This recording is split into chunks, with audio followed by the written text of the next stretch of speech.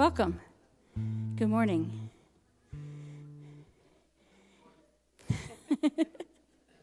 we gather this morning as God's beloved children.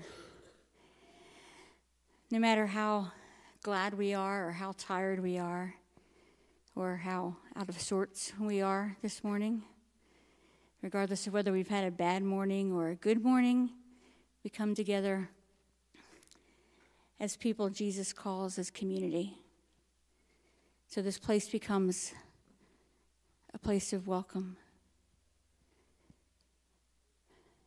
I'm thankful for a God who accepts us for who we are, is eager to have a relationship with us. So much so that he sent Jesus into this crazy, messed up world for each of our salvation. I'm so thankful for that. So we've come to give him thanks and to praise him, to be with others and to sing and to learn. And I invite you to stand as we worship.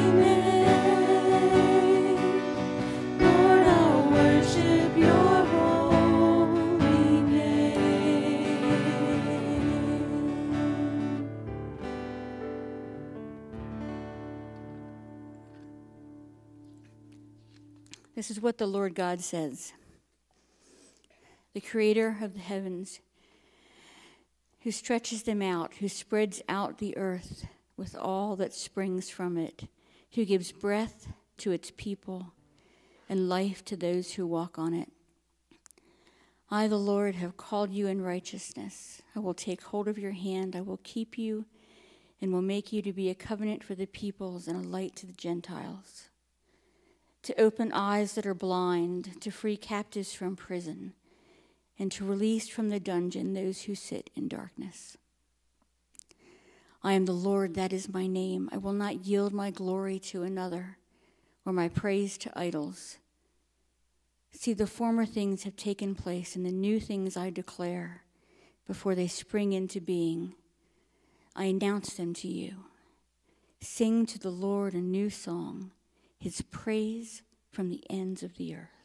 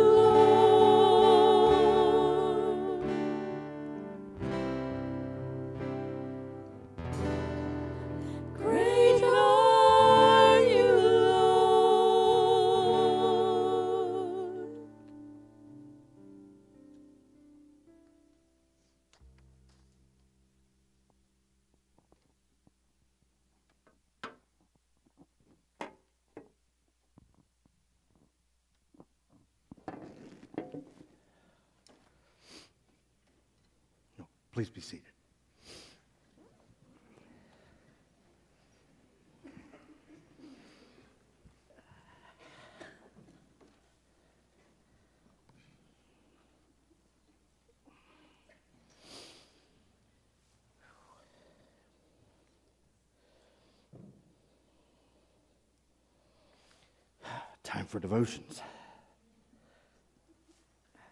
Exodus. Excellent.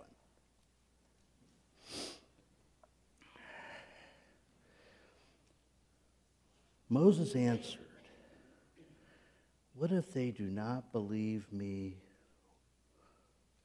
or listen? And say, The Lord did not appear to you. Then the Lord said to him, What is that in your hand? Staff, he replied.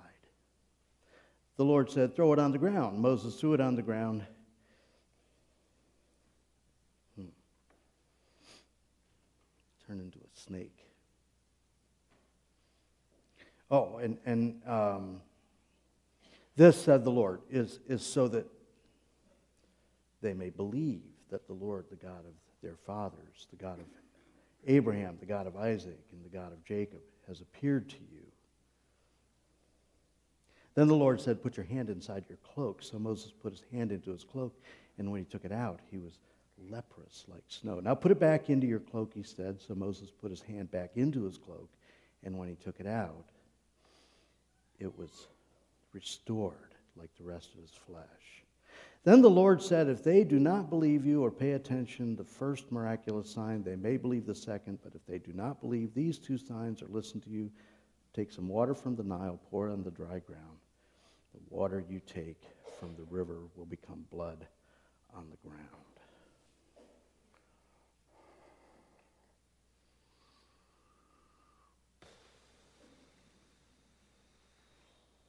Not very inspiring, God.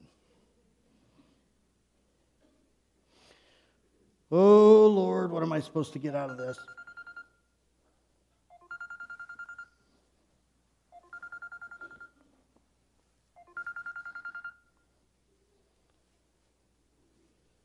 Hello? Oh. God? Oh, no, no, no, no. This is Ben, right? You, you're, you're pulling my leg. Oh, sorry. Yeah, yeah, okay, okay. It's God. God, I, you know, I was just reading your word. It's a great book. Yeah, I know I said it wasn't very inspiring. Sorry about that. Oh. Well, I was just I was just thinking about Moses there and him going, you know, Moses, great guy, God. You picked a real good one there. I mean, he was he was a powerhouse. What a guy. That oh, shepherd, yeah. Yeah, murderer. Yeah. Yeah, not such a great guy, maybe. Yeah. Well, I was just reading about him, and, and there he is. He's in front of the burning bush, and you're talking to him, and man, what it must be like to have God talk directly. Oh, yeah. Right, you are. Okay. Uh, okay. Uh, well, anyway, I was just wondering what I'm supposed to get out of this. And, and right, right, you were sending Moses to Pharaoh. You were getting your people released. Yeah, right. You had a job, right? I get that. You want me to do something? God, I'm no politician. I don't think I can deal with Pharaoh. I please don't send me to Putin. I, I don't know what I would do with that. No, no, no. I, I, am not. Yeah, I'm listening. I'm listening. Well, yeah, there are ministries in the church that we could. Yeah, I know. I know there's lots of stuff that can be done. I sure, yeah. Oh, I really love the going to church and listening to the music and. Well, yeah, I could probably participate in that stuff. I, oh, but God, I can't. I can't play the the keyboard like Josh or sing like Jess. I mean, I, what am I going to? Well, yeah, I can sing a little bit. I know I sing in the shower. Sorry, I sing in the shower all the time, right? I know, I know. You want me to sing, really, in front of people? Well, yeah, yeah, yeah, yeah, I know, I know. Somebody's got to do it, right? Yeah. Well, I don't sing off key, do I? It's all right in the shower, isn't it? All right, I'm listening, I'm listening. But, but I really don't like getting up in front of people, Lord. I, you know how that is. You get up in front of people, you get all nervous, your palms sweat. I, I know, I know. You, Moses said the same stuff. I, I get it. I get it. But, well, yeah, there are other things that can be done. I mean, yeah, there's the computer and the soundboard. The soundboard looks really complicated, God. I don't know. I, that, that's a lot of switches. Yeah, yeah. Reagan, Alex, they would teach me. Sure, sure, yeah. You're right, you're right. And, but, but it is an awful. The computer, God, you know I don't like computers. I, you know, they, they don't like me. I, yeah, I use one at work all the time. You're right, God. I, eh, but I'm not very good. I point and click. Yes, I get it. Drag and drop. Okay, yes. Yes, God, I, I hear you. I hear you. But God, are you sure you want somebody like me back? I mean, what if, what if I'm back there and I'm doing all this stuff and then I get distracted and I don't worship? You, oh, if enough people did it, I wouldn't have to do it every week. Yeah, that's true. That's true.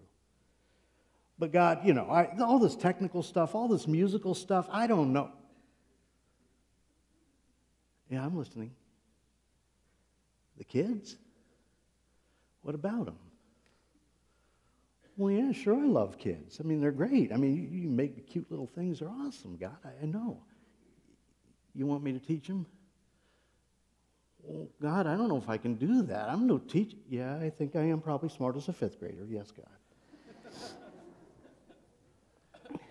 but then they miss the service and they have to go to the Sunday. I know once again, yes, God, you're right. If I don't, if I, if enough people did it, I wouldn't have to do it every week. You're right. You're right.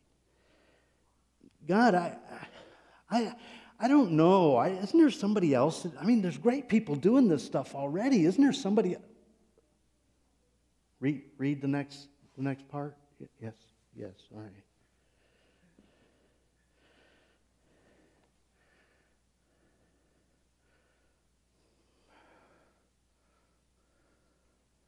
Ah, my, my eyes get, yeah, well, I'll put it on speaker. No, I won't put it on speaker. Then the Lord said, if, if, if they do not, no, not that part? Okay. The Lord said to him, Who gave man his mouth? Who makes, makes him deaf or mute? Who gives him? But Moses said, Oh Lord, please send someone else. Then the Lord's anger burnt, burned against Moses.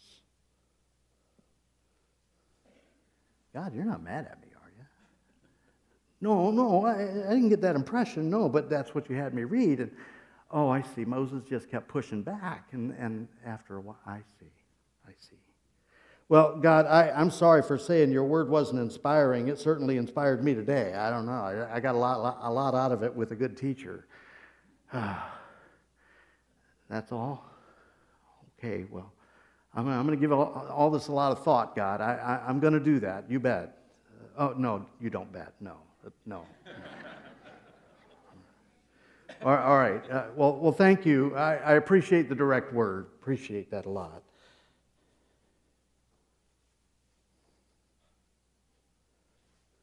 Hello, operator. Was that collect? no, no, no. I don't want to dial star 69. I had enough of that. I had enough of that conversation. All right, thank you.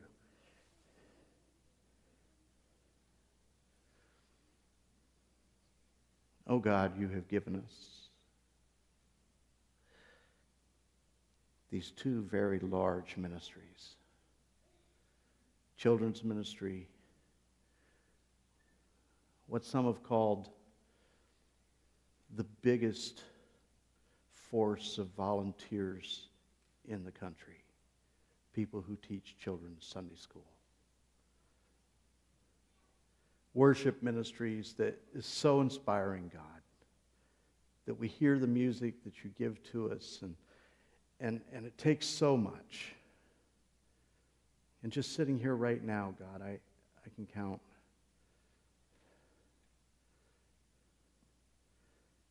ten people involved in, in bringing worship to you. knowing that it is a big job, and, and sometimes it can be challenging, but God, teach us what it means to accept a challenge in your name. Father, I pray that you would raise up for yourself from this congregation this morning a handful of people, maybe two, to minister to children and to do worship ministries. Father, let us not shrink back because we're shy or we feel inadequate or we feel unprepared or, or we feel ill at ease. God, help us to overcome the personal inhibitions that keep us from doing the things that you'd like us to do, knowing that you will grow us into what it is that you have for us to do. Father, we worship you this morning in song, alongside the children. We bring you offerings. We pray. We listen to your word. Father, please bless the offering that's accepted this morning. Use it, we pray, to do great and mighty things. In Jesus' name.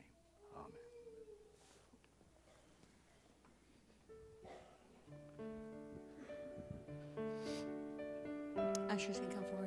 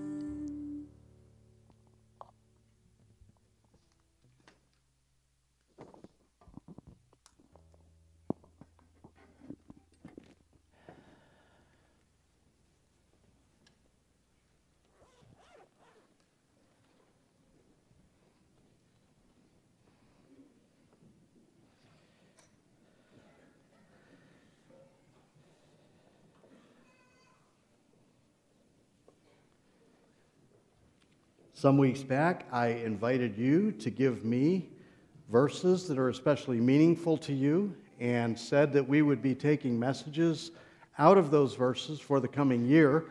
Many of you did that. I, I received over 40, um, over 40 suggested passages. Believe it or not, not one duplicate. I, am still impressed with that. I, I thought there would be. This week is the first of those passages. And we're going to be covering them uh, as, as we go through the year. For this first part of the year, up through just about Easter, it amazed me how many passages had to do with the character and attributes of God, his personality, and, and who he is. So, for the first part of the year, we're going to be covering a lot of material that has to do with that. I think we have a children's program this morning. I, they, they didn't leave already, did they? Okay. All right. That makes it easy on me. I remembered, right? So this morning, we're looking at Exodus beginning with chapter 33. And, and this story is not the story we read a few minutes ago. This is a different story. This story gives me chills. I kid you not. What kind of audacity it takes to stand before God and say, I want to see you. I mean, it, it's tough enough to think about Moses talking with God person to person but it's even harder to think about the idea that God actually did it. He granted his request and allowed Moses to see him physically to, to a degree which, which is big enough. that's what Moses wanted. But God did more than that and revealed his inner self, revealed his personality and his character. Rabbis call the statement that we're looking at this morning the 13 attributes. It shows up often in the Old Testament in bits and pieces and adapted to different circumstances. At least nine times you can find it in, in the Old Testament in Exodus, Numbers, Nehemiah, three times in Psalms, Joel, Jonah, and Nahum. And maybe there are more. I didn't, I didn't do a deep dive on that, I just did uh, a very surface kind of survey. And a comparison of these expressions of the same idea is interesting in itself, but we're not going to do that kind of a broad sweep. Today, we're just looking at the first one, beginning in Exodus chapter 33. Then Moses said, Now show me your glory. And the Lord said, I will cause all my goodness to pass in front of you, and I will proclaim my name, the Lord, in your presence. I will have mercy on whom I will have mercy and I will have compassion on whom I will have compassion. But he said, You cannot see my face, for no one may see me and live. Then the Lord said, There's a place near me where you may stand on a rock. When my glory passes by, I will put you in a cleft in the rock and cover you with my hand until I have passed by. Then I will remove my hand, and you will see my back, but my face must not be seen. The Lord said to Moses, Chisel out two stone tablets like the first ones, and I will write on them the words that were on the first tablets which you broke. Be ready in the morning, and then come up on Mount Sinai. Present yourself to me there on top of the mountain. No one is to come with you or be seen anywhere on the mountain. Not even the flocks and the herds may graze in front of the mountain. So Moses chiseled out two stone tablets like the first and went up on Mount Sinai early in the morning as the Lord had commanded him. And he carried the two stone tablets in his hands. Then the Lord came down in the cloud and stood there with him and proclaimed his name Yahweh. And passed in front of Moses proclaiming Yahweh Yahweh, the compassionate and gracious God, slow to anger, abounding in love and faithfulness, maintaining love to thousands and forgiving wickedness, rebellion, and sin. Yet he does not leave the guilty unpunished. He punishes the children and their children for the sin of the parents to the third and fourth generation. And Moses bowed to the ground at once and worshiped. Lord, he said, if I have found favor in your eyes, then let the Lord go with us. Although this is a stiff necked people, forgive our wickedness and our sin and take us as your inheritance. In the rabbinic breakdown of this passage, some of God's attributes are explicit and some are implied. And I think that that traditional breakdown is a little forced in some ways, but they break down each trait into fine nuance. And either way, no matter how you approach it, this is a veritable catalog of God's greatness. His name, repeated twice, implies mercy to those who have not yet sinned and those who have, what the rabbis would call two different kinds of mercy compassion, grace. God, a second name of God, implies power, slow to anger, abounding in love and faithfulness, maintaining love to thousands, and forgiving wickedness. That is, the rabbis would say, intentional sin, rebellion, willful sin, and sin, which they would define as error. Yet he does not leave the guilty unpunished. He punishes the children and their children for the sins of the parents to the third and fourth generation. This is a big picture. And the statement that is made here becomes a formula in the Bible for systematically understanding God. I break the passage down differently than, than our rabbinic friends. Let's take Moses' approach. God, how would you describe yourself? And in his answer, I see two big ideas. First, love. Second, wrath. I want to take the second one first. He does not leave the guilty unpunished. He punishes the children and their children for the sin of the fathers to the third and fourth generation. This is a strong statement of the wrath of God. When he gets angry, he really gets angry. God is very literally saying, just pay attention to it. He's very literally saying, I'm going to smack you so hard, your grandchildren are going to hurt. If we divide this statement into two, we might have different reactions to it. He doesn't leave the guilty unpunished. We very clearly, in that phrasing, hear God saying, I am just. And that probably sounds like a good thing to us. I like that. If a person callously harms me, I might hope that a judge will bring justice. With some infractions, everybody in the world hopes a judge will bring justice. The first part of the statement might be reassuring because people get away with things all the time. Crimes go unsolved. Criminals get off with a slap on the wrist. But God's going to take care of all this. He promises right here His justice is perfect.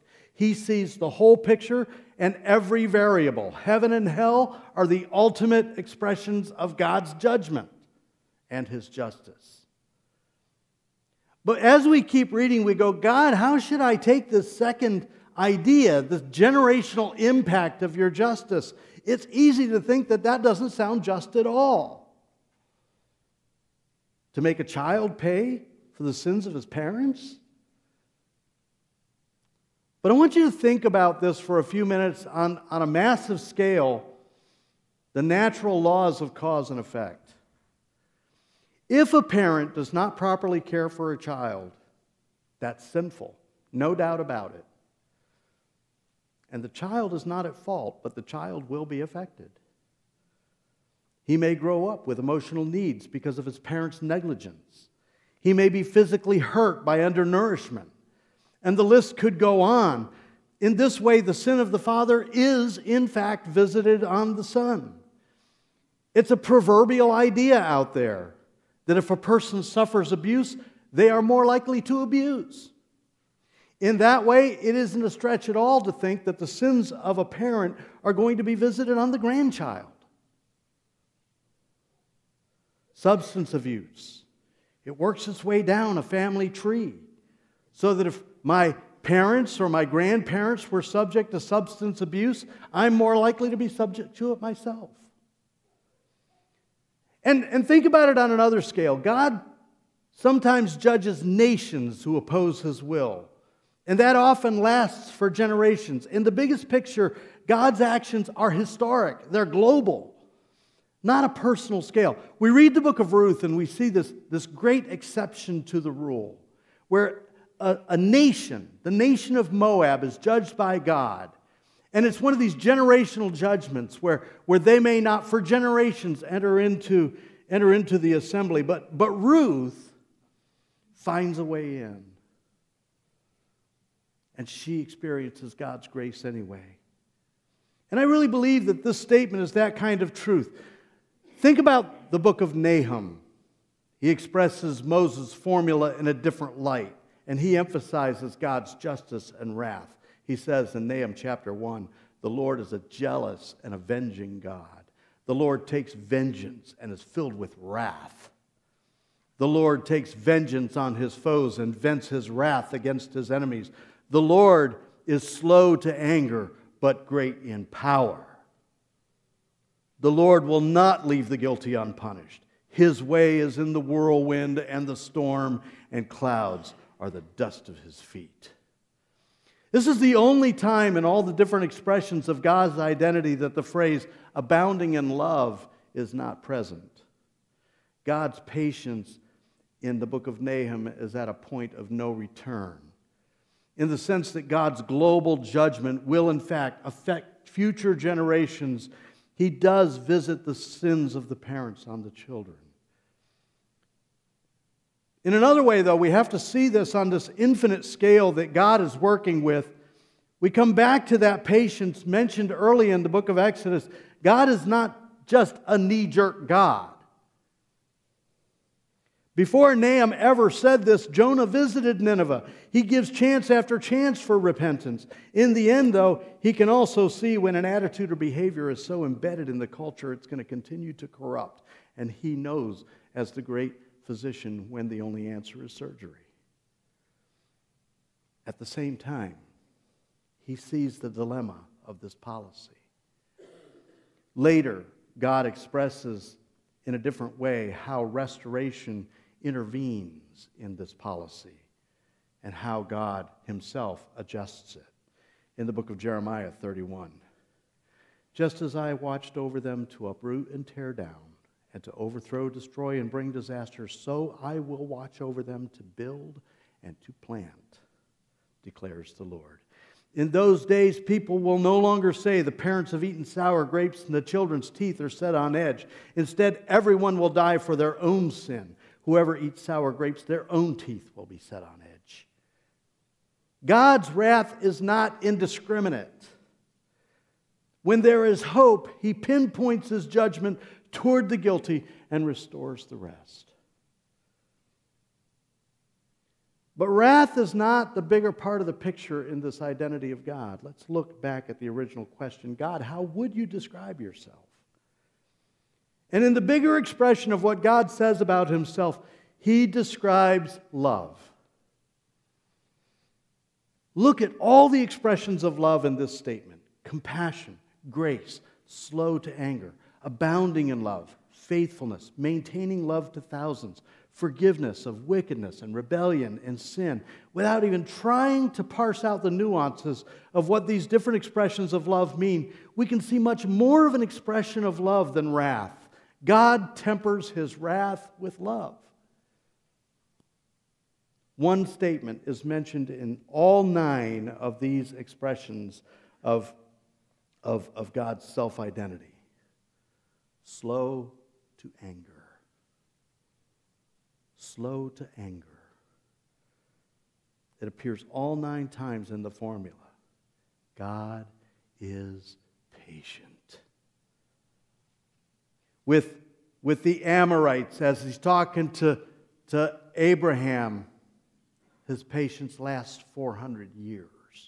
With the Israelites, as he's talking to Abraham, we, we learn that his patience is going to last 800 years. We look at our society today is filled with decadence, violence, greed, sexual perversion, selfishness, arrogance, unrestrained appetite, cruelty, apathy. And we wonder sometimes, why doesn't God do something?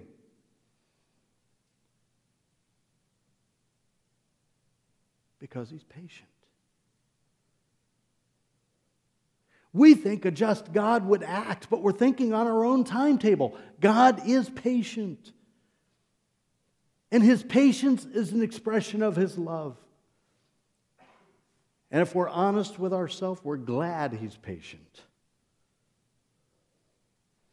Because we know what we do that's massively messed up. And we're glad that God doesn't unleash his judgment immediately almost as often mentioned as his patience is the abundance of his love. God does not just love, he abounds with love. He overflows with it. He demonstrates it in a multitude of ways. All the expressions of love in this varied statement demonstrate the depth, the width, the height, the duration of his love. He is compassionate, he says. And when we're hurting or in need, he sees that and he empathizes and he extends his help. He brings us healing and nurture both in body and in spirit. For me, at least this year, things were pretty rough last year. But he brought me through it. I give him thanks because there's nothing that I could have done to make sure that would happen. It's only because of God's compassion that I'm still standing. He is gracious. He gives us favor that we don't deserve. We sin, and He treats us with kindness. What does Jesus say? That God sends His rain, and today He's sending us a good bit of it, on the just and the unjust. That's His grace. It's like a birthday celebration. All we have to really do is survive for another year, and everybody makes a fuss about us. God makes a fuss about us when we know that we're just dusty, faulty people. He is faithful. He is faithful. When God commits, He doesn't give up on us. His patience keeps coming back to stand with us and support us. He created us, so He knows our limits better than we do. How many times have I pulled away from God over the years out of temptation or depression or frustration, and He always brings me back. And He offers that love freely to everyone. He says to thousands. Nobody is outside the purview of God's love. Nobody is outside the purview of God's love. Say it with me. Nobody is outside the purview of God's love. Say it louder. Nobody is outside the purview of God's love.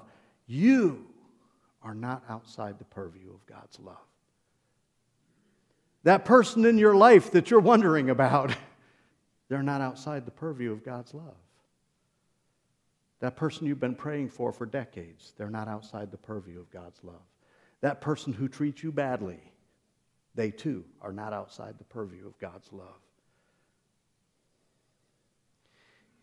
He died for the whole world. There is no sin that God cannot forgive. There is no ruin that he cannot restore. Uh, Tim, what about the unforgivable sin? Yeah, we'll get onto that another day. He is forgiving. He says that right here himself. He forgives. He treats willful sin and persistent rebellion and moral mistakes all the same. He mercifully washes it away and starts new with us. It's an expression of his faithfulness. He does not abandon us when we stray from Him, when we fall into or back into sinful habits, when we momentarily pursue things that we shouldn't, when we give in to our weaknesses. We all do it much more than we really would like to admit but He forgives us and He brings us back. God is slow to anger, abounding in love. His justice and His judgment, they're real. His wrath is real. And the Bible makes that abundantly clear. It should cause us to fear God, but not to the point that we become bitter or paralyzed or resigned to it. Because when God passed in front of Moses, revealing Himself not just in physical form, but in his personality and character. His love is what he emphasized. His love is what he described in fine detail. I think that God declared his wrath second in this particular moment because his love takes priority. His default position is love. He will resort to judgment and wrath after his loving patience is exhausted. After years, decades, sometimes centuries, he finally gives in to his anger, but he will exercise love first. You know, even the trouble that we experience sometimes is an expression of God's love. And maybe you'd like to say, hey, you know, I don't want that expression so much anymore. That, that's, it may feel to us like judgment, but it's God shouting in our ear to come back. He says in the book of Hebrews, and have you completely forgotten this word of encouragement that addresses you as a father addresses his son? It says, My son, do not make light of the Lord's discipline, and do not lose heart when he rebukes you, because the Lord disciplines the one he loves and he chastens everyone he accepts as his son. Endure hardship as discipline. God is treating you as his children. For what children are not disciplined by their father?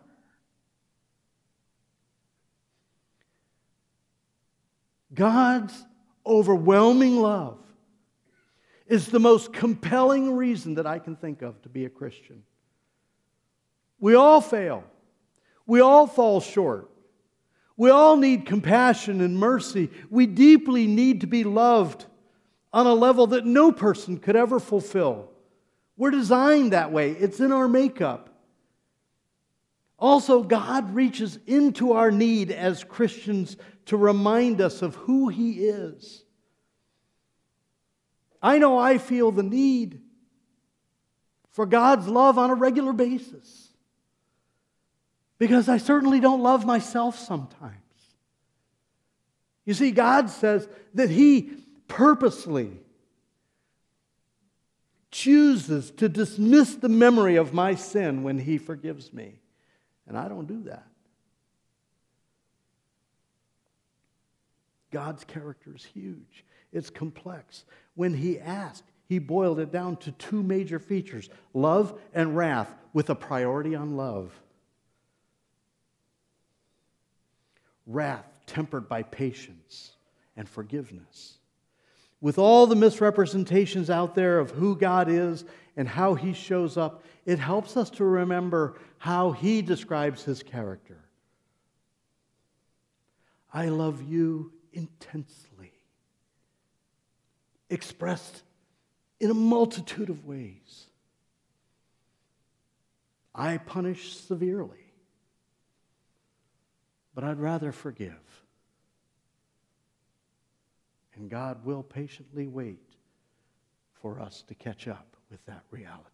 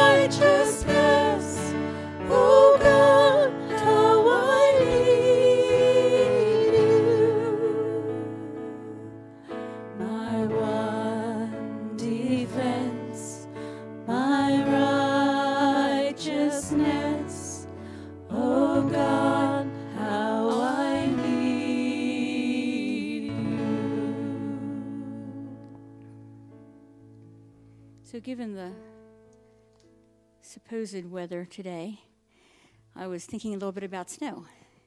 A couple of weeks ago, I was supposed to uh, lead worship, and the snow kept us from meeting together. It's kind of like a snow day. As a child, I loved snow days. I remember staying up late or, or uh, getting up early, really, really early to see if it had snowed, see if we were going to have school. So before showing my age, before the internet, before the phone, the cell phone, you would go to the news to see if, if school was canceled. And sure, there was a phone number that I could call, and I could find out right away. But for some reason, I loved to sit and listen to the radio. And they would list off this long, long list of schools, and I would just wait and wait and wait to hear mine. There it is. Then I knew that it would be a day of sledding and shoveling and walking in the snow, maybe going with my parents for a ride in the snow, because I love driving in the snow. Fun. I love snow. I think I've said that before. Yes, I even enjoy driving in snow. I know, that's very strange. I especially like it while everything is still fresh and white. It's a glistening blanket over the world. So the Bible doesn't mention snow very often, but it does mention it. One time is found in Job. In chapter 37, it says, God's voice is glorious in the thunder.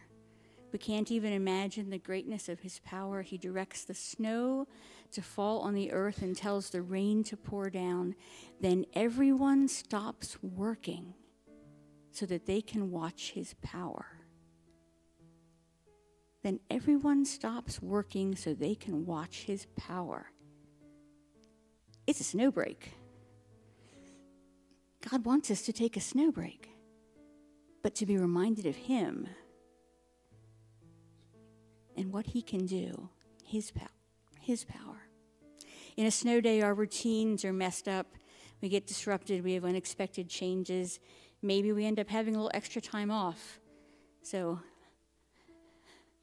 next time, let's use a little bit of that time to consider God, to consider the greatness of His power. He directs the snow to fall on the earth.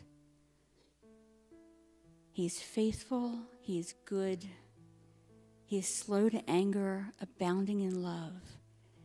He brings the snow. He's in control of the weather. He's in control of our jobs. He's in control of our lives. Let's take time to remember Him and to praise Him for that. Now I want to snow again. We'll see if it snows. I invite you to stand as we continue worship.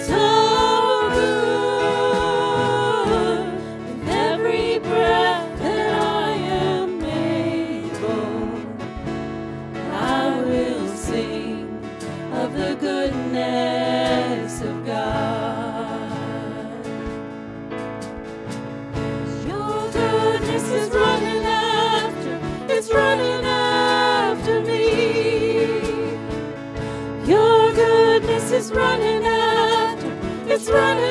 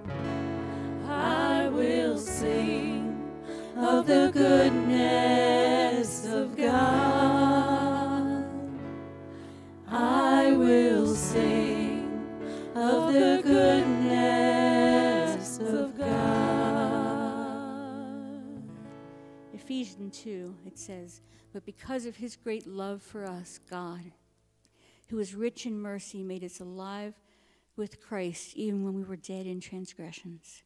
It is by grace you have been saved. And God raises us up with Christ and seated with and seated us with him in the heavenly realms in Christ Jesus, in order that in the coming age he might show the incomparable riches of his grace expressed in his kindness to us in Christ Jesus. For it is by grace you have been saved through faith. And this is not from yourselves, it is the gift of God, not by work, so that man, man can boast. For we are God's handiwork, created in Christ Jesus to do good works, which God prepared in advance for us to do. Grace. It is the gift of God.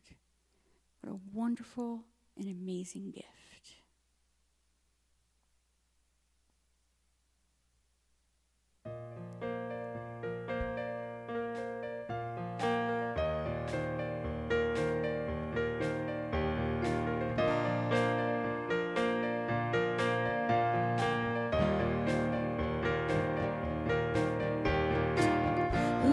the power of sin and darkness, whose love is mighty so much stronger, the King of glory, the King above all kings, who shakes the whole earth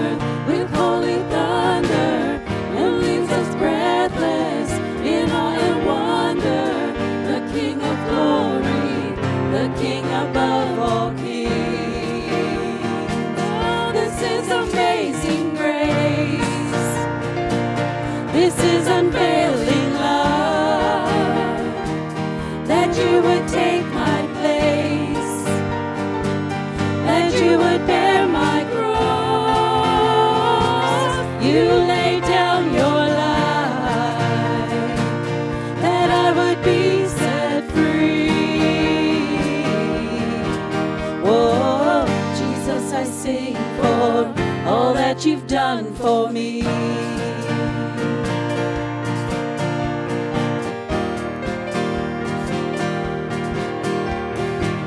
Who brings the chaos back into order? Who makes the orphan a son and daughter? The King of glory, the King above all kings.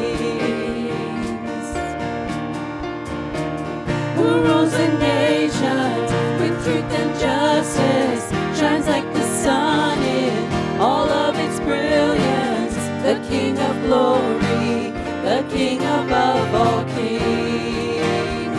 Oh, this is amazing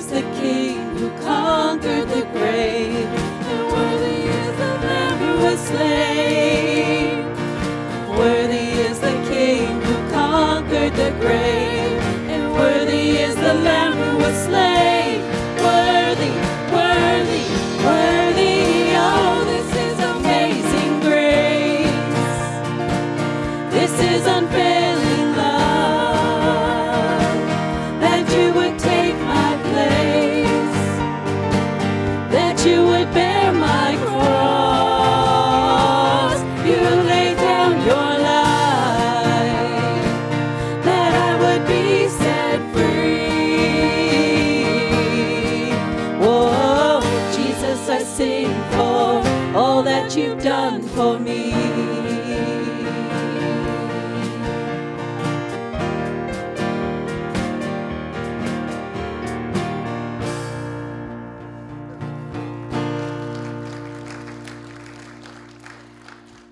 To him who is able to keep you from falling and to present you before his glorious presence without fault and with great joy, to the only God our Savior, be glory, majesty, power, and authority through Jesus Christ our Lord, before all ages, now and forevermore.